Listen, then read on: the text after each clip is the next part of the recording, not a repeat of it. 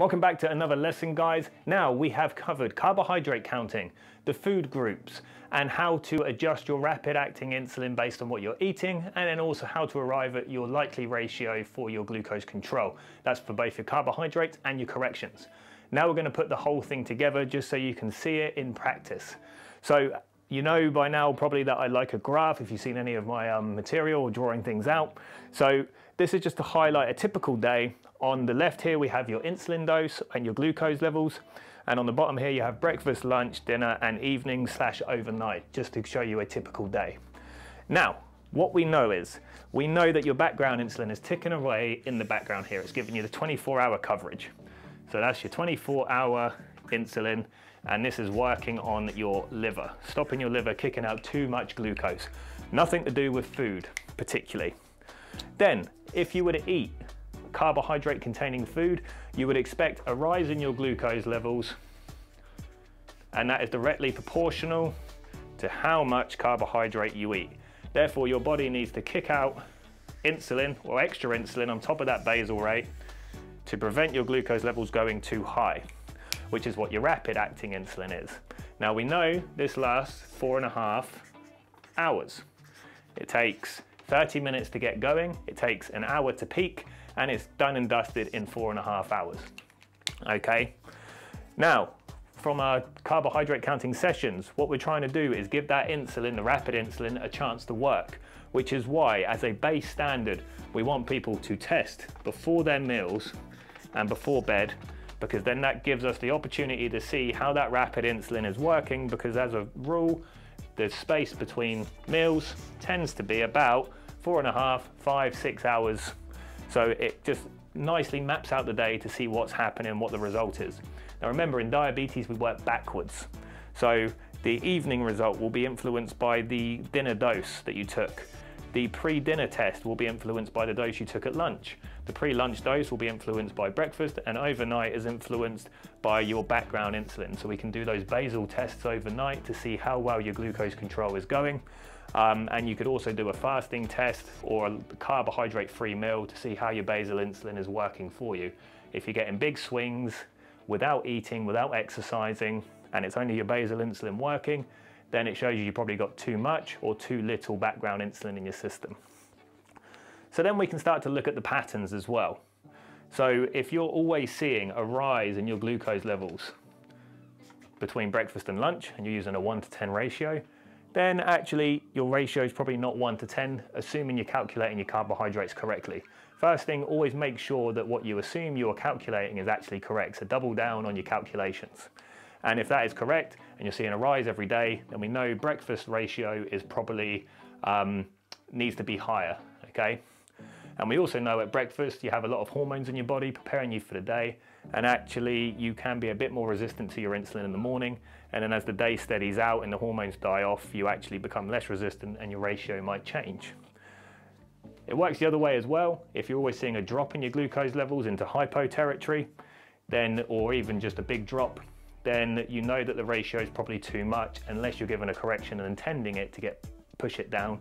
But if you're not intending for it to drop and you're only applying a carbohydrate ratio, yeah, it might work out and push you back in the target, but you're setting yourself up for a fall because eventually if you're giving too much insulin and you're getting unexpected drops, eventually you're going to end up with a hypo. Now, one of the other key things that we want to do is make sure that this rapid insulin is given a chance to do its work. Four and a half hours. So if you're adding in extra insulin before it's even had a chance to get going, so let's say you test your glucose here after about an hour and a half, and the glucose levels is shot right up. Let's say it's, I don't know, let's put some figures, 20, this is five, this is 10 say. Then the temptation is, and something I see a lot, is someone will add another injection here. Now obviously you've just reset the timeline because actually looking at that there, you've probably got about another half of the insulin before it's actually out your system. So this hasn't actually taken hold yet. This hasn't done anything. It's not in your system. It's not doing its job yet. And yet you've still added in extra insulin. So that's not good because you're then gonna probably have all this kicking at the same time. And this is when we start to see big swings. And then the glucose drops, you hypo, And then in order to counteract the hyper, you eat and you go high again. So then you have to take more insulin, so you drop again. So you're just always chasing the glucose levels, you're never on top of it. So even if you do test in between and you see these rises, give it time, let the insulin do its job and then see where you're at before the next meal. And even then, if you are still high, let's say you are here, and let's say that's 15, then fine, apply another correction dose here, okay? So you're gradually nudging it down throughout the day rather than trying to go for the quick win and smashing it down by adding in extra insulin. And then the next day you can use that as a feedback. So you know that your ratio wasn't correct here, so we need to change something.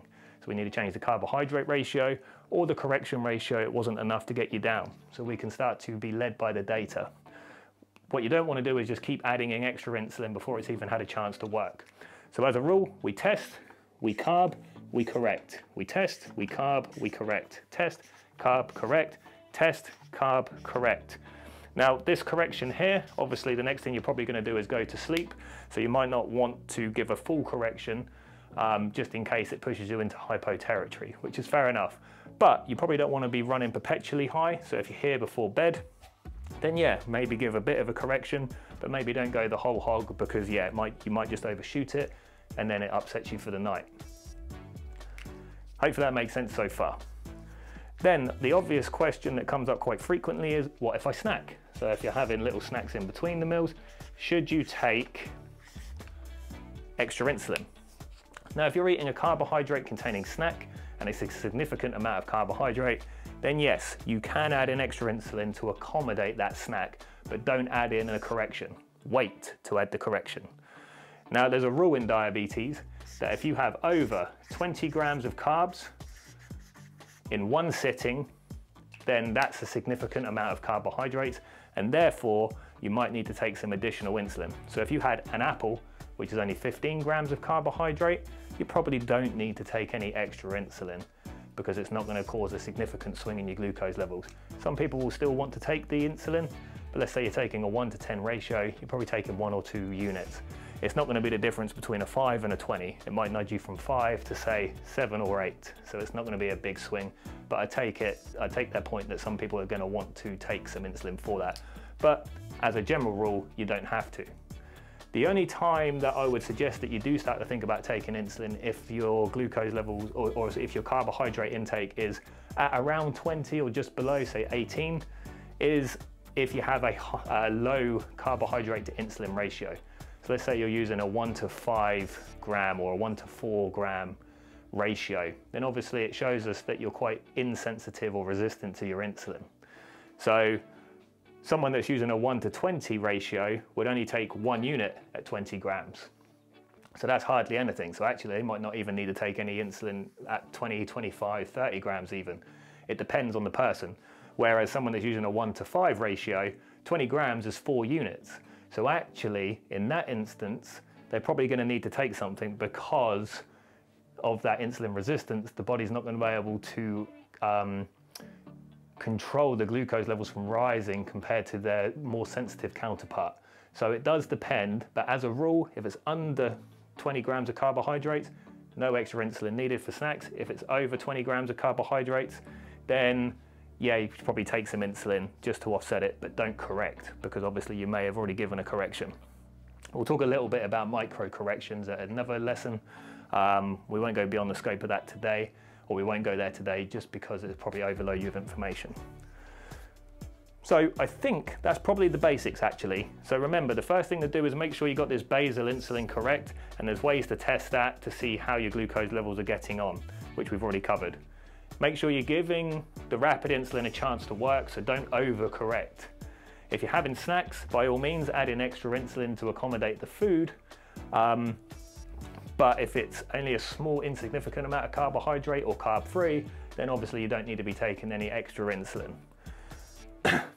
One question that does come up just before I sign off actually is if you know you're going to eat this snack, can you front load the insulin here to accommodate the snack? The answer is yes, you can, but if you do that, make sure come hell or high water, you eat that snack. Because if you don't, then obviously you've got too much insulin in your body. My preferred option, but it is more injections, is just take the injections as you're eating the food because you know where you stand then. And I think that's it guys. The board's got a bit messy there, but hopefully you understood everything there. So we'll leave it there for this lesson. Um, we're starting to build on these principles now. We're going to start to get a bit more complex in terms of what to look for with specific things uh, in terms of your glucose control and get into those more advanced strategies. But as it stands, hopefully you're following along and we will see you at the next lesson.